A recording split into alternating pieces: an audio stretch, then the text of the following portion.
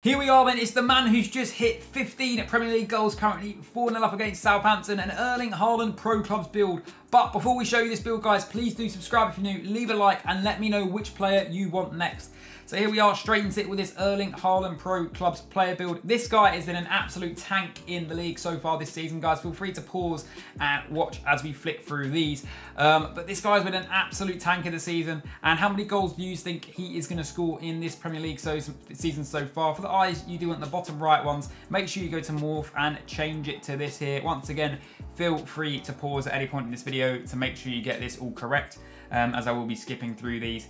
Uh, next up, we do have the eyebrows. It's in the second one along um, for you there, guys. And then that is what you want to do there for the eyebrows. Nice and simple for the Erling Haaland Pro Clubs build.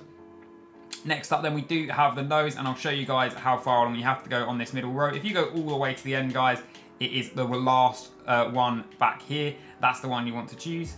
Um, and then you want to go to morph once again, and this is what you want to do for the position and size and the uh, protrusion and nose bone there for this build once again. I'll give you guys a few seconds and then we'll skip to the next part of this build.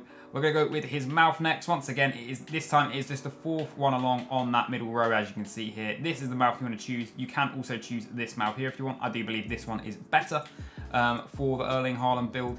And this is the size of the mouth and the position that you want to choose for that as well.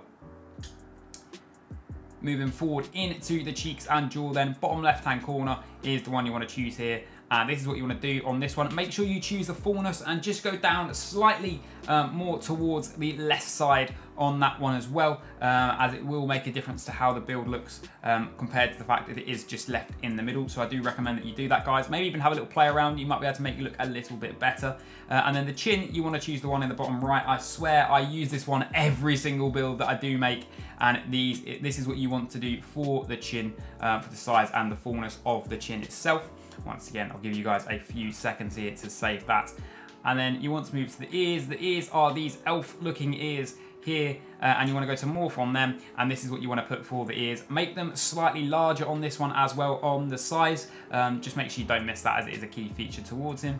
And there we are there what you have to do for the ears. Moving on last but not least we do have Erling Haaland's hair and this is the hair you want to go on. If you go on all hairstyles it's just past the afro on the bottom row and then you want to choose this color here is the third option in.